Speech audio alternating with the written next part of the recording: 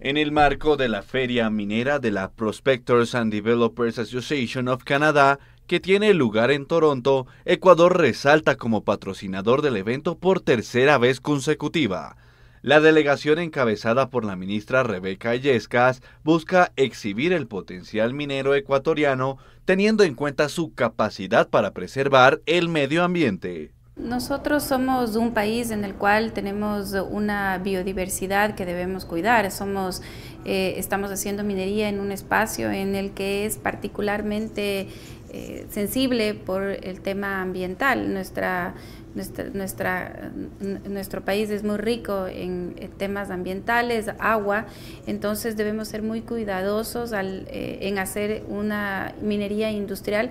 Asimismo, la jefa de la cartera minera habló sobre el respeto de Ecuador al referendo que se votó en su país para establecer la voz del pueblo en esta economía. Esto responde, como indicaba esta historia también, de una minería ilegal, una minería no formalizada que es lo que queremos asegurar como gobierno. Primero, asegurar a los ciudadanos que lo más importante para nosotros es primero un desarrollo con los ciudadanos eh, y con el ambiente. Lo que... Este miércoles se llevó a cabo el Día de Ecuador en la PDAC por sus siglas en inglés.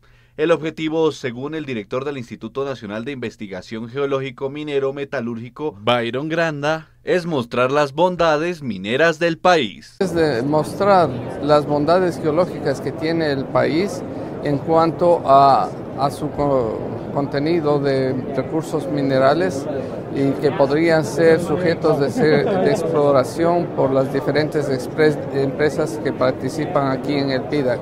El PDAC, que se celebra hasta el miércoles, reunirá en Toronto 3.800 inversores y 1.000 expositores relacionados con la minería, una ventana de exposición para el país suramericano.